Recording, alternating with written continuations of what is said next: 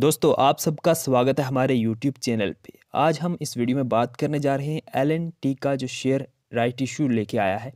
वो right issue हमें कैसे अप्लाई करना है हम इस वीडियो में आपको दो तरीके बताने वाले हैं दो तरीक़ों से आप एल एन टी का राइट इशू अप्लाई कर सकते हैं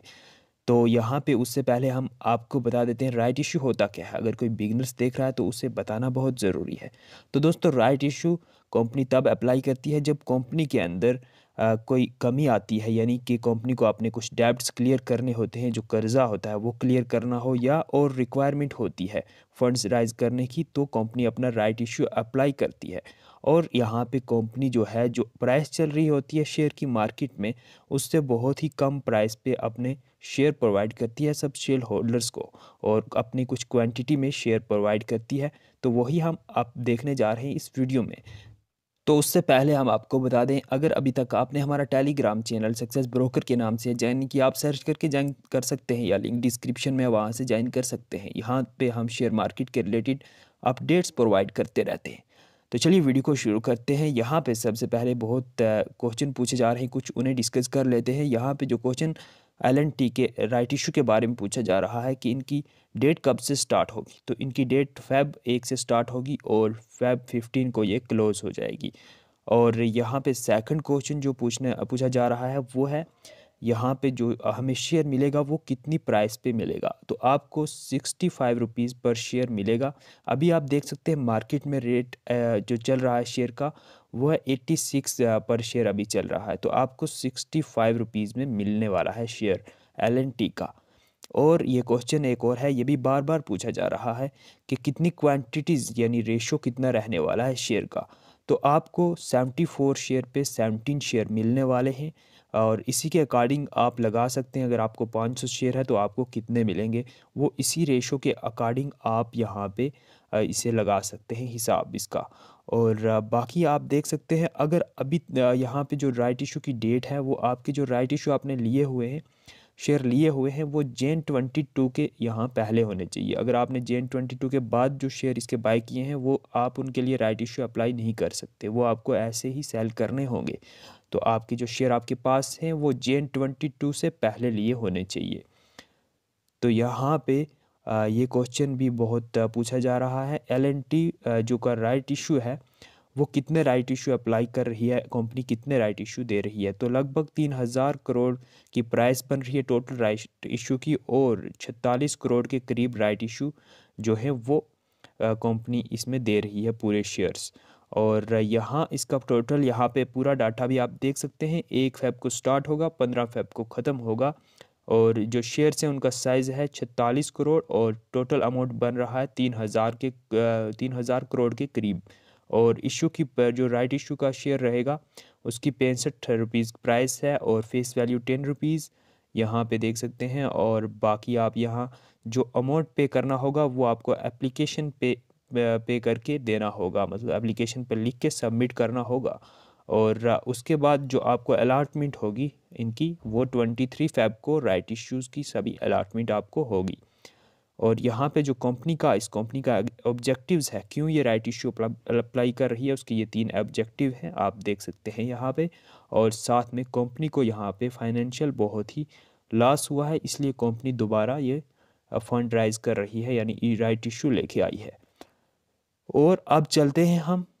यहाँ पे देखते हैं अप्लाई कैसे करना है राइट इशू तो यहाँ आप स्क्रीन पे देख सकते हैं राइट इशू अप्लाई करने के दो तरीके हैं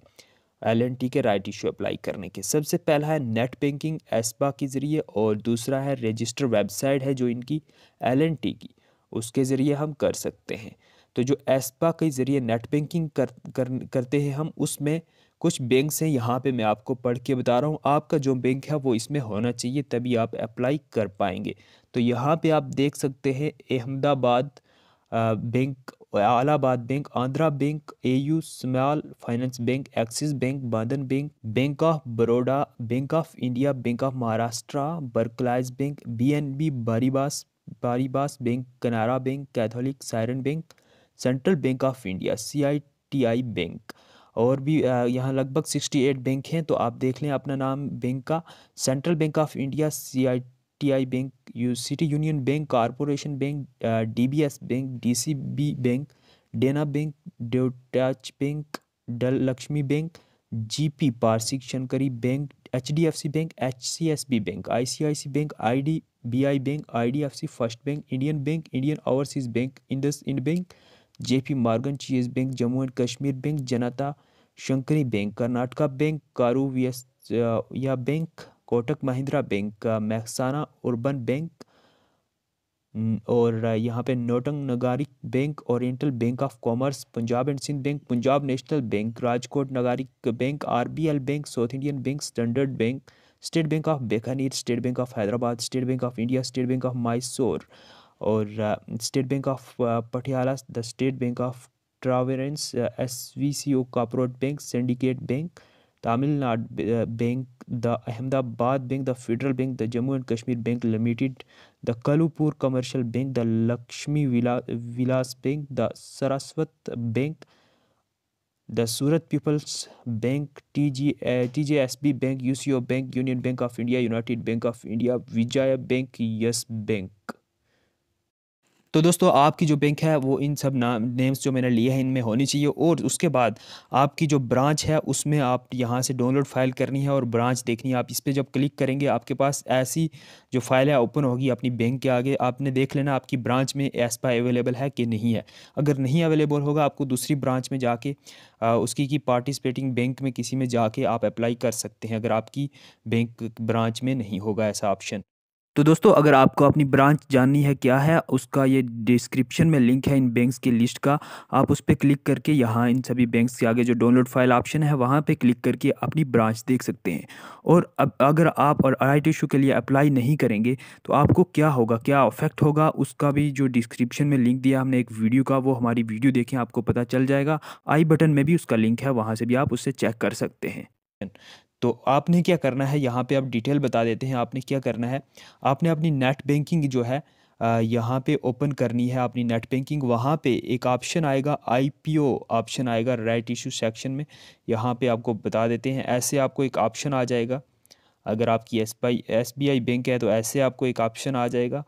आप देख सकते हैं स्क्रीन पे यहाँ पे भी तो ये ऑप्शन आएगा आईपीओ का आपने क्या करना है इस पर क्लिक कर लेना है और फिर यहाँ पे चेक करना है L T finance right issue available होगा वहाँ लिस्ट में आपने क्या करना है अप्लाई बटन पे क्लिक करना है L N T finance right issue वाले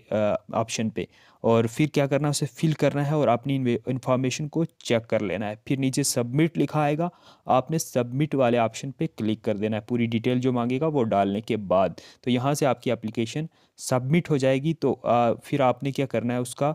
यहाँ पे प्रिंट जो है वो निकाल के आपने उस पर एसपा के ज़रिए जो है भेज देना है यानी अपनी जो बैंक होगी उसमें भेज देना है लेके और अब आपको यहाँ पे बताने वाले हैं हम दूसरा जो मेथड है वो है यहाँ पे जो इनकी वेबसाइट है उस पर जो है वहाँ पे आप अप्लाई कर सकते हैं और यहाँ पे आपने क्या करना है इनकी वेबसाइट पे विज़िट करना है वो हम आपको यहाँ बता देते हैं आपने लिखना होगा यहाँ पे आप देख सकते हैं L and T finance holding website जो है इनकी ये आप सर्च करेंगे यहाँ पे तो ये वेबसाइट आ जाएगी या डायरेक्ट वेबसाइट भी सर्च कर सकते हैं फिर आपने इस वेबसाइट वाले ऑप्शन पे क्लिक करना है तो ये वाला पेज ओपन होगा तो आपने स्क्रॉल करके नीचे जाना है इसी पेज में और यहाँ पे आपको एक ऑप्शन दिखाई देगा इन्वेस्टर का आपने इन इन्वेस्टर वाले ऑप्शन पे क्लिक करना है उसके बाद ऐसा ऑप्शन आएगा आपके पास राइट इशू का आपने यहाँ व्यू पे क्लिक कर लेना है और फिर आपके पास एक ऐसी डिटेल आएगी आपने स्क्रोल करके नीचे जाना है तो अभी ये वीडियो एक फेब से पहले बन रही है तो यहाँ पे सबमिट का ऑप्शन नहीं आ रहा तो जब आप एक फैब से बाद इसे ओपन करेंगे तो यहाँ पे आपको टिक लगाना होगा आई हैव रीड पे जैसे मैं ऊर्जा ग्लोबल का बता देता हूँ यहाँ पे आपका कंट्री का नाम आया वो आपने सेलेक्ट करना है जिस भी कंट्री से अप्लाई कर रहे हैं और टिक करके सबमिट पे करना है ये मैं आपको बता रहा हूँ ऊर्जा ग्लोबल का एक डैमो था हमारे पास उससे तो जब आप यहाँ सबमिट वाले ऑप्शन पर क्लिक कर देंगे तो उसके बाद आपके पास ऐसा ओपन होगा ये मैं ऊर्जा ग्लोबल के फॉर्म निकाल रहा हूँ सेम ऐसा ही आपके पास एल एंड टी वाला ऑप्शन भी ओपन होगा तो आपने यहाँ एप्लीकेशन फॉर्म जो है ये एप्लीकेशन फॉर्म डाउनलोड करना है फिर इसको पूरा फिल करना है अगर आपको ये नहीं पता कैसे फिल करना है अभी यहाँ से हमारे पास आ नहीं रहा क्योंकि अभी एक फैब नहीं हुई अभी थर्टी जेन है तो आपने इस पर डाउनलोड करना है और इसको फिल करना है इस पर क्या क्या फ़िल करना है वो आप देख सकते हैं ऊर्जा ग्लोबल का फॉर्म बिल्कुल सेम है फिल किया हुआ डिस्क्रिप्शन में लिंक मिल जाएगा आई बटन में भी उस वीडियो हमारी का आप वो वीडियो देख सकते हैं बिल्कुल सेम आपने वैसे फिल करना है ये और फिर बैंक में लेके इसे अपने सबमिट कर देना है तो वहाँ पे आपके जो शेयर्स हैं वो प्रोवाइड कर दिए जाएंगे बैंक की तरफ से तो दोस्तों आज की इस वीडियो में इतना ही था अगर आपको वीडियो पसंद आई है वीडियो को लाइक और शेयर ज़रूर कर लें और अभी तक अगर आप एंजल ब्रोकिंग पे